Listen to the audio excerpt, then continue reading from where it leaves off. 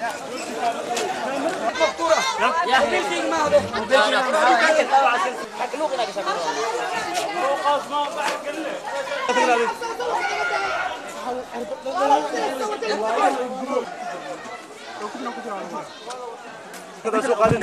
maahan ninkan maa soo qaadeen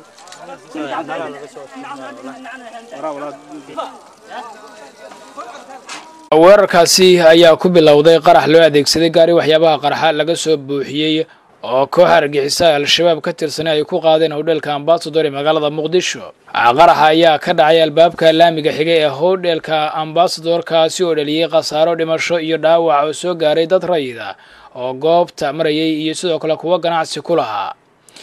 Gawaari waddada marayay iyo meherado ganacsi oo goobta ka dhowaa ayaa iyaguna waxaa la soo sheegayaa inay halkaa ku guubteen weerarka kadib dabley argixisada ka tirsan al-shabaab ah ayaa gudaha u galay hodheelka ambasador iyaga oo rasaas ku bilaabay dadkii hodheelka deganaa oo isugu jira rayid iyo mas'uuliyiin dowladda ka tirsan. Sida ay ku warantay wakaalada wararka soomaaliyeed ee dadka argixisadu ay dileen waxaa ku jira laba xildhibaan oo kale ahaa cabdulaahi jaamac kabaweyne iyo xildhibaan maxamuud maxamed guure.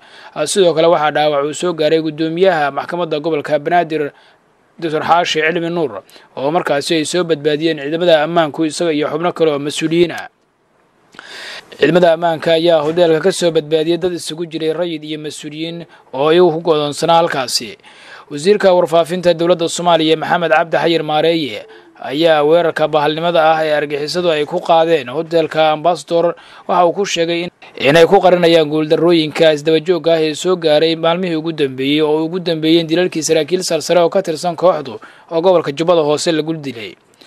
weerarka ayaa yimid iyadoo ciidamada dowladda soomaaliya ay dileen afar iyo labaatankii saac ee ugu dambeeyey in ka badan labaatan ka tirsan kooxda argixisada ee al-shabaab oo ay ku jiraan horjoogayaal sare oo ka mid yahay maxamed dulyadeen oo u qaabilsanaa weerarada kooxdu ay ku qaado dalka kenya iyo sidoo kale horjoogihii dhinaca amniyaadka u qaabilsanaa oo lagu magacaabi jiray daa-uud hase yeeshee iyagu ay u bixiyeen shucayb. Waxaana markaasi sidoo kale magaalada kismaayo ay ciidamada ammaanku ku soo bandhigeen meydadka tiro ka tirsan kooxda argagixisada ah oo howlgal ay sameeyeen ciidamada ammaanka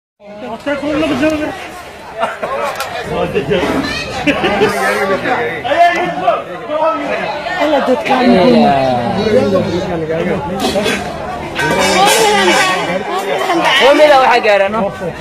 dadku waa ka ordeeno war gurigaad fiir gurigaad gurigaad soo jeed saddex mar isku daba dhacay dadka meydadka meesha yaalyaan maalu gurbii laakiin ninaan soo jiidooya